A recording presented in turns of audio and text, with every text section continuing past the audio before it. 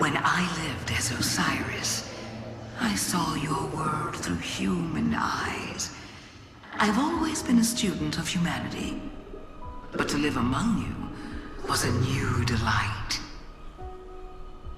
Love, loss, kindness, cruelty, pain, joy. A chorus of life. I savored every note. If only you hadn't killed me.